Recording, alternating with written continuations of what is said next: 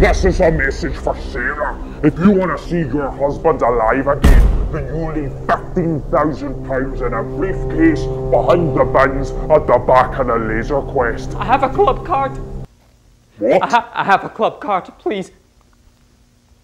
Why do I care if you've got a club card? Do, don't- you not do a club card discount? We do, we do club card.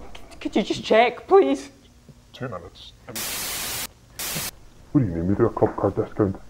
What, what are you talking about? Club card accepted. Oh, thank God.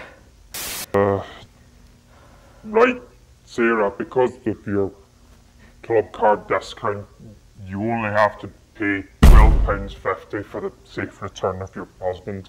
Tell, tell him about the Pringles. Right. I don't really understand why I have to tell you this, but but also we've got a two for one offer on Pringles this week. If that's if that makes any sense to Oh, yeah, you. yeah, yeah. Um, Yeah, get, get the Pringles. Get, get the Pringles. But I still want that twelve pounds fifty Sour cream. at the bins behind the And ready- laser ready quest salt. by next Thursday at midnight. Because if not, this Oh, man and here dishwasher is tablets. going to We, we need dishwasher tablets. right. Just leave, mate. I just look. What? Just go. It's it's twelve pounds fifty. What are you doing?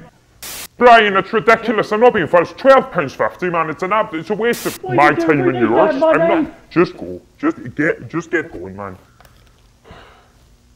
What about my Pringles? I don't give a fuck about your Pringles. Fuck. Just fucking go.